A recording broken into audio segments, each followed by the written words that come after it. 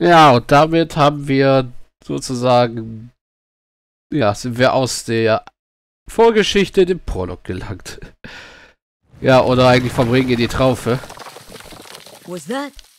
War das? A Bewick. Had to be. Hier und ans Worten wechseln sie sich mit keuchenden Atemzügen ab. Ein Biowick. Muss so gewesen sein. We're lucky to be alive. Dann haben wir Glück, dass wir noch am Leben sind. And we're the only ones. Und wir sind die We Einzigen. There could be another collapse. We're not getting out that way anyway. Let's get further inside. Hier können wir nicht bleiben. Es könnte noch einen Einsturz geben. In dieser Richtung werden wir eh keinen Weg hinausfinden. Lass uns weiter ins Innere gehen. At once. Eine tiefere Ebene der Ruinen wurde von herabfallenden Trümmern blockiert.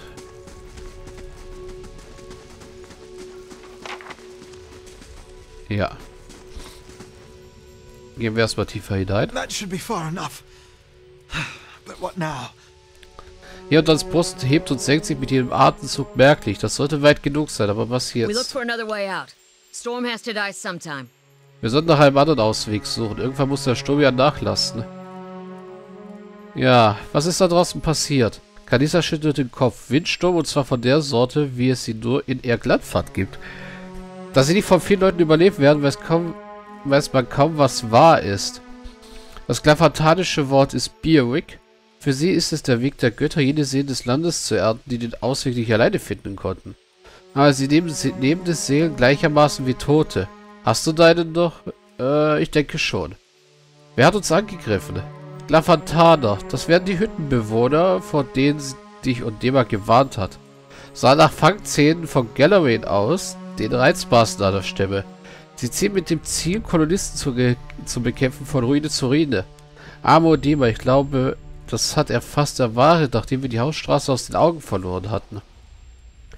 Die Glafantaner sagten, wir wären in die Ruinen eingedrungen. Das glaube ich einfach nicht. Und Dema hätte niemals, hätte es niemals gestattet. Die Fänge mögen ja durchaus Hitzköpfe sein, aber generell greifen, Glafantaner doch nicht ohne Provokation an. Entweder haben sie etwas gesehen und falsch aufgefasst, oder sie blickt den vorausliegenden Weg hinab. Unter uns befinden sich Plünderer. Das ist etwas, was wir jetzt gar nicht gebrauchen können. Ja. Was ist mit den anderen unserer Karawane? Kadisha presst die, ihre Lippen zusammen und ihr King kräuselt sich. Sie spricht mit schwacher Stimme. Jetzt hat sie das Rad erwischt. Sie blickt auf. Mögen ihnen die Götter in ihrem nächsten Leben mehr Glück gewähren. Ja, hoffen wir mal. Das scheint dich aber alles nicht besonders aufzuregen. Jedenfalls jetzt nicht mehr. Draußen, als sie die Leichenhaufen gesehen hat, war sie doch etwas entsetzt. Kalisa schaut ihr direkt in die Augen und sagt mit unbeständigem Unterton in der Stimme, Vielleicht kennst du mich auch nur nicht gut genug, um zu wissen, wie aufgeregt aussieht. Außerdem, vielleicht habe ich auch noch schon Schlimmeres gesehen. In der Tat, und ich bin trotzdem weitergegangen, weil man sonst nichts anderes tun kann und weil es noch andere Leute gibt, die dir etwas bedeuten und die dich noch brauchen. Ja, sie meint ihre Schwester. Na dann, dann lass uns losziehen. Oh, also, dass wir mit der Galloway-Sache also, Sache rausgerückt sind und den Typen draußen verwirrt haben, hat dafür gesorgt, dass Heodan keine Verletzung kriegt. Die hat er ja das letzte Mal bekommen und hat deswegen rumgegaut, wir müssten hier rasten. Deswegen habe ich versucht zu rasten und habe dabei Kalisha verloren, die an irgendeiner Falle verreckt ist. Ja, Someone else has been here. We should move. ich frage mich, wer wohl hier war und ob sie vielleicht etwas Nützliches für uns zurückgelassen haben. Ja, das sagt hier und dann. Hm. Ja, auf jeden Fall zwei Rastvorräte, Hammer, Meißel und Streitkolben. I'm here. Wechseln wir mal wieder zu Nahkampf. Ein Kleiderschild und eine Fackel. Yes? Stay quiet. Ihr habt nicht zufällig auch irgendwo was versteckt? Hm? Nö. Scheint jetzt hier nicht der Fall zu sein. They'll never know I'm here.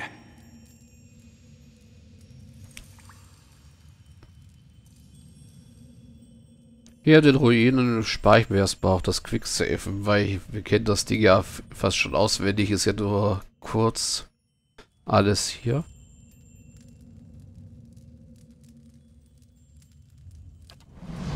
So, Alxaurip. Eine zitternde, kränkliche Gestalt kommt sich auf einem Speer schützend aus der Dunkelheit hervor. Durch ihre schuppelige Haut zeichnen sich knorrige Ellenbogen und dürre Rippen ab, aber du kennst, erkennst ja seinen Xaurip. Er beobachtet dich vorsichtig, während er in flatternden Seufzern atmet. Deine Arme erheben und stillstehen, als die Kreatur ihren Kopf zur Seite neigt und sich dir nähert, stürzt sie ein weißes, kehliges Klicken aus. Die Kreatur beschnüffelt dich und findet nichts, was sie interessiert. Sie tritt zurück, nimmt abermals ihre defensive Haltung an. Schon gut, wir werden dir nichts tun. Der Zauber springt zurück, behält seinen Speer aber immer noch fest in den Händen. Als die Kreatur den Kopf zur Seite neigt und sich die nähert, stürzt sie ein weißes, ein weiches, kehliges Klicken aus.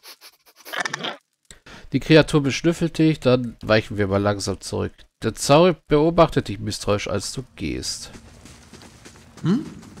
Ja, hier und dann. Gehen wir in Schleichmodus.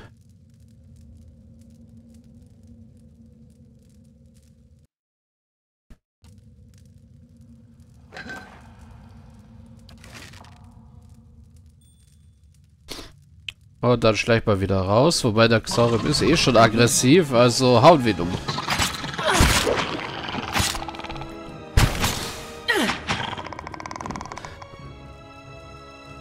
So, der hat eh etwas, was ich gerne hätte.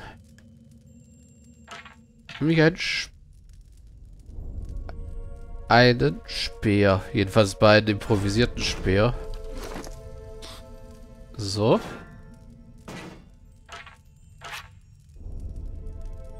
Der erhöht auch unsere Zielgenauigkeit ziemlich gut.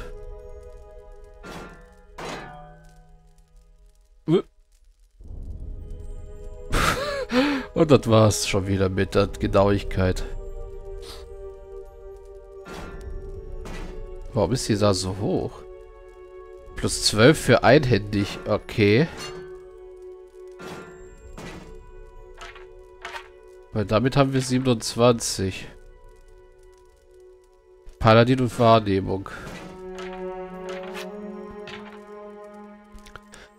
Ja, jetzt haben wir Paladin, Xaurimspür und Wahrnehmung. So gewinnen wir einen Punkt dazu. Ja, supi. Ja, hier und da drückt man halt das hier raus und die Flasche.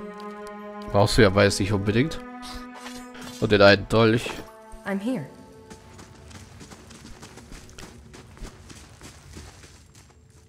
So.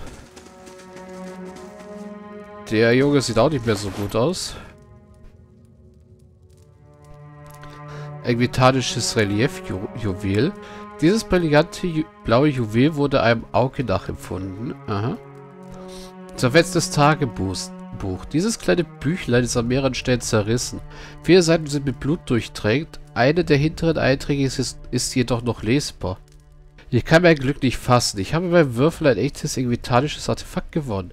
Der Kerl, dem es gehörte, sagte, sein Auge sagte, in seinen Augen sei es hübsch, aber wertlos. Er ist nicht bereit, in irgendwelchen Ruinen herumzugraben. Wenn er aber recht hat, dass dieser Edelstein zu einem versteckten Schatz führt, dann ist es das gewiss wert, sich an ein paar bemalten Elfen vorbeizuschleichen. Ich breche am Morgen nach Zinatlis auf, dann muss ich nur noch das Relief finden, von dem er sprach. Mhm. Oh, nehmen wir mal die Armbrust mit. Als Ersatz für den Bogen. Ich dachte, warum leuchtet jetzt alles so grün? So, Armbrust passt nämlich doch ein bisschen besser. Du hast einen Gegenstand erhalten. Quest, vegetalisches Relief, Reliefjuwel im Lager abgelegt. Die Weißmark, die Weißmark Teil 2. Ah, auch schön. Das sehe ich jetzt auch zum ersten Mal im Quest-Tagebuch. Ja, Tagebuch, Biografie, die werden wir uns irgendwann mal zur Gemüte führen. Ich glaube, sobald wir unsere Festung haben. Ja, gucken wir mal kurz, was die Quests so sagen. Eine kleine Verschnaufpause. Wie rum wird sortiert von unten nach oben? Eine Krankheit ist plötzlich über mich gekommen. Der Karawanenmeister hat mich dazu gedrängt, vor der Verschlechterung meines Zustands eine Arznei herzustellen. Klafatalische Krieger haben der Karawane einen Hinterhalt gelegt. Mein Leid ist jetzt die geringste meiner Sorgen.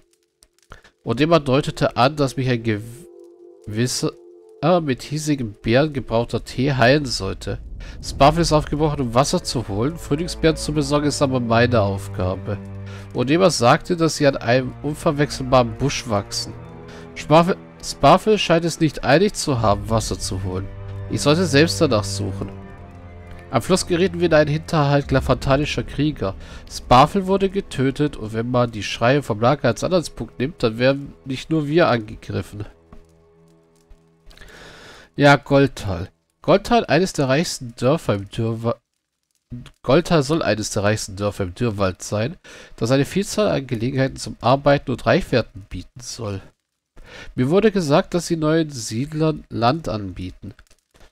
Die Reise nach Golta war lang und sie ist noch nicht ganz vorbei. Glücklicherweise hat mich das Reisen mit Karawanen vor einigen Gefahren des Dürrwalds bewahrt.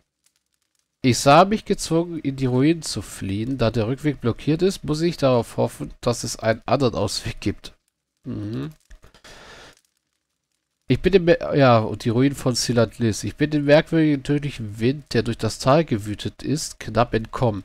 Jetzt aber bin ich in den uralten Ruinen gefangen, vor denen uns der Karawanenmeister deutlich gewarnt hat. Ich werde einen Weg durch die Ruinen finden müssen, um mich in Sicherheit zu bringen. Gut, so viel zu den Quests. Dann gucken wir erstmal hier lang. Warte, hast du das gehört? Ja, da ist ein Skulder-Welpe. Äh, geben wir mal allen den Angriffsbefehl und du haust mal ordentlich drauf.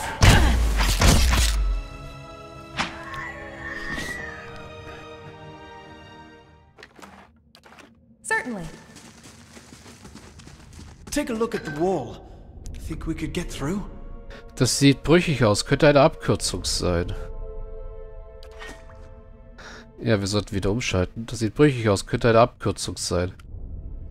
Ist lustig, wie immer der andere Charakter teilweise die, die Sprechblase bringt, während der andere labert. Ja, bei dieser Mauer zieht sich ein Spalt vom Boden bis zur Decke. Durch den Spalt weht ein leichter Luftzug. Gegen die Mauer drücken. Trotz der Bescherung sieht der Stein schwer massiv aus. Drücken wir mal selbst dagegen. Du drückst mit Leibeskräften, wo auch der Spalt breiter zu werden beginnt. Letztendlich spürst du, wie das uralte Mauerwerk nachgibt. Die Mauer stürzt ein und gibt den Blick auf einen dunklen, kreisrunden Raum frei. Yes. Ja, das wäre jetzt ein, ein Weg, den wir gehen könnten.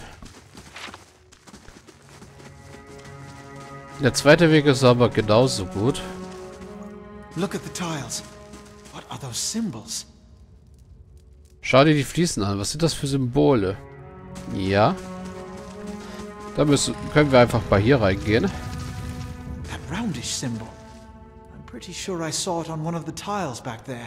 Diese rundlichen Symbole. Ich bin mir sicher, dass ich das auf den Fliesen da hinten gesehen habe. Auf dieser Säule ist ein gestalteter Kreis angraviert. An seinem Fuß steht eine unangezündete Feuerschale. Du könntest sie anzünden, wenn du die Mittel dazu, wenn dir die Mittel dazu zur Verfügung stünden. Mit der Fackel anzünden. Rasch entzünden sich die Flammen in der Feuerschale und winden sich empor. Ja, das deaktiviert die Symbole. Diese Wandmalerei muss uralt sein, doch die Farben sind, immer, sind noch immer kräftig und strahlend. Die Malerei zeigt eine Prozession von Invitanern aus allen gestandenen Rassen. Am Mauer, Elfen, Orlaner, Zwerge und Menschen. Die schreiten durch Säulen ähnlich wie die in dieser Kammer. Oben auf jeder Säule befindet sich eine Flamme. Ja, das ist sozusagen der letzte Hinweis dafür, dass wir hier eigentlich alles anzünden sollten. So.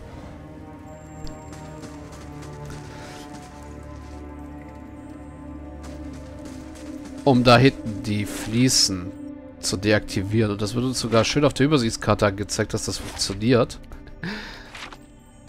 Ja, das ist gut. So. Wir töten den geringen schwarzen Schlamm hier.